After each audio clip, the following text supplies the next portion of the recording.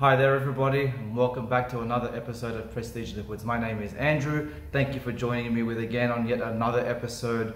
Um, if you're new to the channel, then please consider hitting that, subs- that subscribe button, um, hitting the like button, and also the bell notification so that you can stay up to date with all coming, or say all upcoming um, content, whether that be reviews, live streams, or whatever it might, whatever it may be. Uh, so today I am reviewing a whiskey that has been um, put out by an Australian distillery. Um, they are based in South Australia um, and they are known as the, the 23rd Street uh, Distillery. Now, this is, a, I guess, like a little bit of an experiment that um, that they thought of to do. Um, I came across this little bottle, I say this bottle in one of our local bottle shops, and I said it caught my eye straight away. Very awesome looking um, label. I think the awesome thing is, is that I think for a lot of their products that they release, they tend to get um, their labels from local artists. So that's a really awesome way of supporting like the local community and all that kind of thing.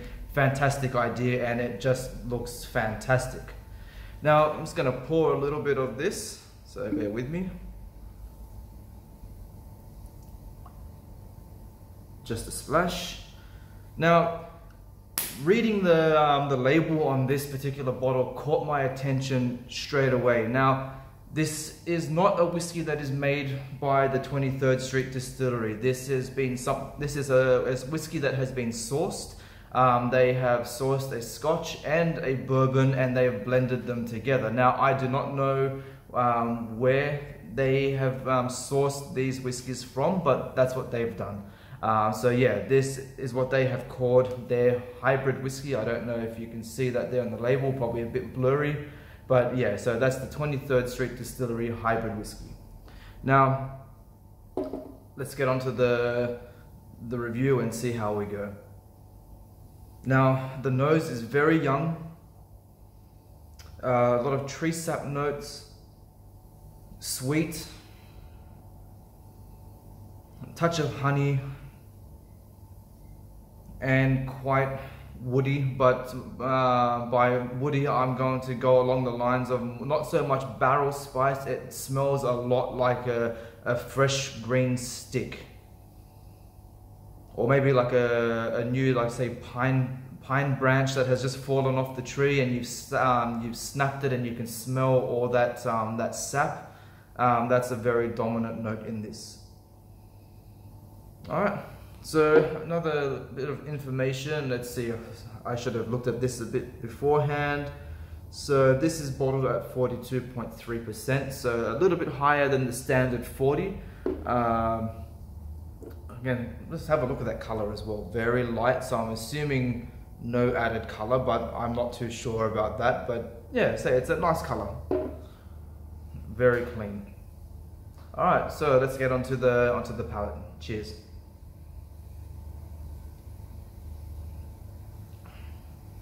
Now, for me, this is where this whiskey kind of loses it.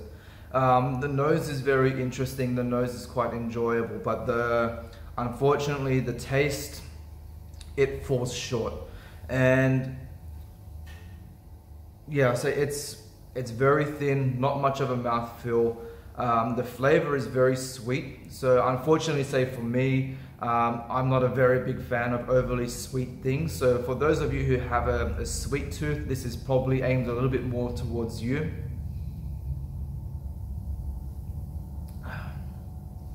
And I think the other the other issue I have is that it kind of doesn't know what it wants to be. I think the concept is great, but I don't know, maybe just those particular types of um, the bourbon and the scotch that have been blended don't, for me anyway, do not really seem to go all that well together. As mentioned, it's a very light, watery um, palate, um, very much a um, honey notes, Again, a very strong um, tree sap uh, is coming through again. Not very, um, not very spicy. There really isn't a whole much going on, and that's the same with the finish as well. Um, very light, very mellow. Um, it's not a horrible aftertaste. Um, it's quite clean, so that's a good thing. It is a very smooth whiskey, but um, for me, unfortunately, this is definitely not something that I will get again. Um, and I think that's pretty much one thing that I wanted to mention more so about this particular whiskey. Now, uh, I have tried their gin, um, I guess their standard release gin, and that is absolutely incredible. I mean, if you are a gin fan, then I highly recommend, um, let's say, the 23rd Street Distillery gin. So, having said that, it seems to me that the the product that they make themselves is of high quality and very good.